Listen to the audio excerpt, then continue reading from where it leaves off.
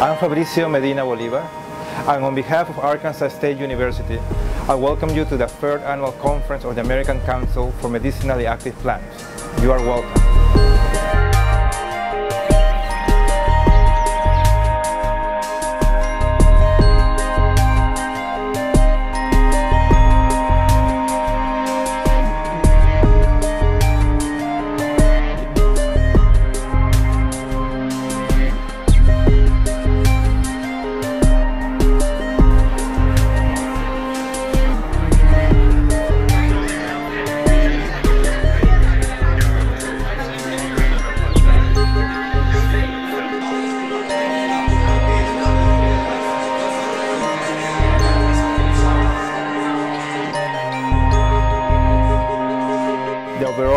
Theme for this year is on plants and human health.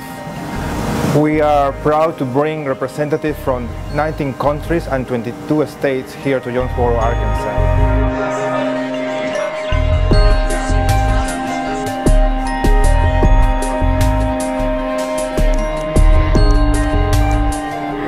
My name is Agnes Rimando with the U.S. Department of Agriculture and I am the president of this society.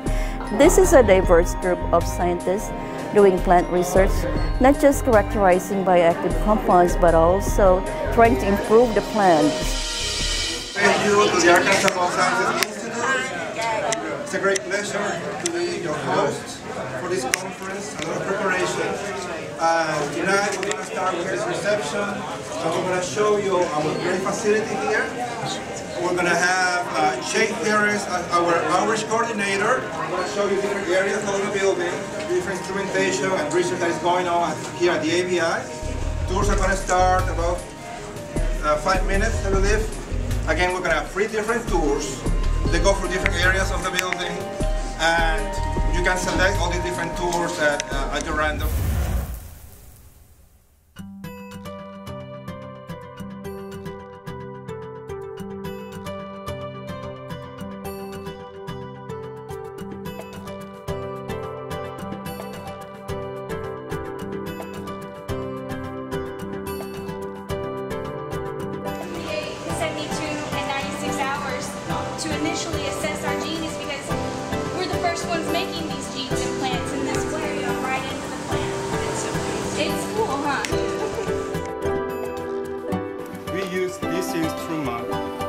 Measure the activity of cellulase.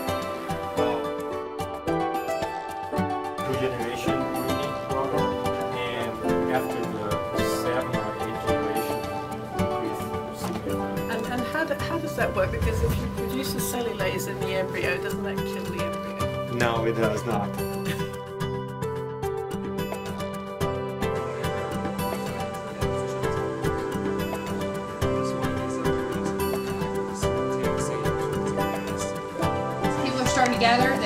That vitamin C is anti-aging, so you can see it in makeups and face creams and all kinds of stuff. It just help balance that out and keep it keep our cells from rusting. And they read kids what antioxidants do.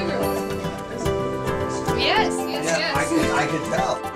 And uh, it's, uh, it's a tropical plant that's great uh, and it's growing in flower. Yes, it's, I'll show you the flower like in the fossil. Very and strong Three pure compounds coming out at different times, so.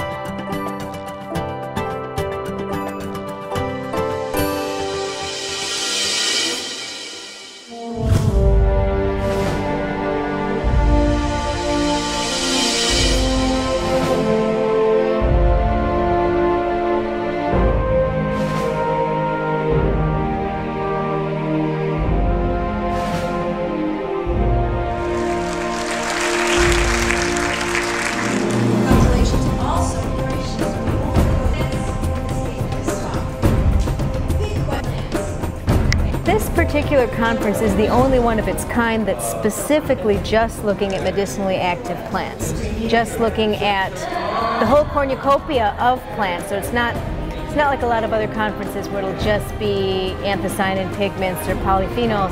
It's all the different compounds that a plant can have that have medicinal action, and it's all focused on human health. So in that way, it's quite unique. And the participation, the number of people here has grown every year. It's only the third time, but it's grown dramatically every year, and I expect it will continue to do so as the reputation uh, increases. And also, uh, the new journal that's being put out is going to really increase the reputation of this conference.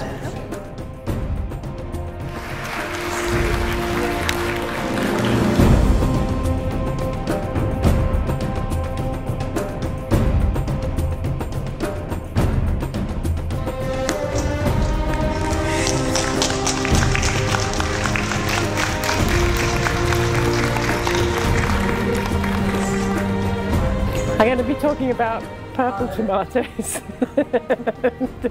which we made a while back, and about how we've taken those forward to do studies on whether they're healthier for you, and uh, also made new compounds in tomato and how you can use those to look at health benefits. So I'm going to convert everyone to eating tom tomato.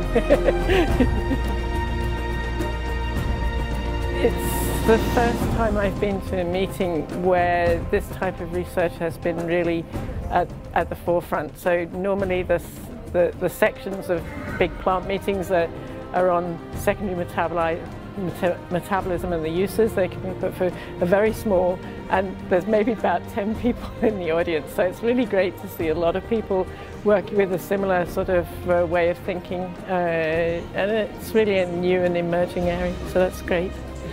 I think in many ways plants are really sort of at the interface where we're recognizing that we are what we eat and what we need to do is actually eat a lot more of the phytochemicals that are health promoting in vegetables and, and fruits. Um, but what's nice about this conference is it's taking that sort of um, understanding and putting it to a scientific principles. The use of medicinal uh, plants has been going on for a long time, but in mainstream biology, it seems that it's always in the background. There may be a session at a larger meeting, there may be talks or posters at a larger meeting, but to bring everyone that's working on it together into one uh, group so that they can talk, compare ideas, uh, work on collaborative efforts so we can move the entire field uh, forward is very, very important. And that's really a main thing that this, uh, I think that this meeting has, uh, has done.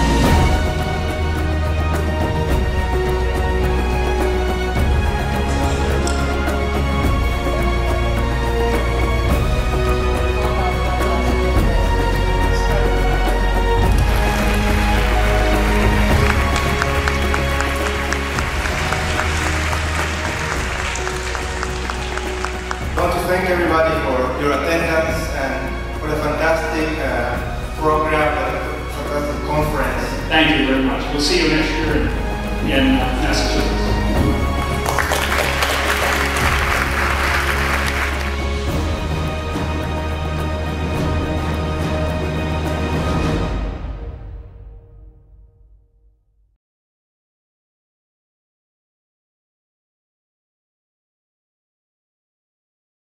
This uh, conference has been a very good opportunity to interact with people with different expertises and uh, also to exchange uh, information, scientific information with the potential to establish future uh, scientific uh, collaboration. Actually in next year and uh, I've been, it's been a, a, really good experience so far. It's, it's very important to, um, to that these scientists kind, come together and this was very interesting for me to see what can be done, what kind of genetic manipulations and other things which we usually do with mammalian cells. Here is done with uh, plant cells.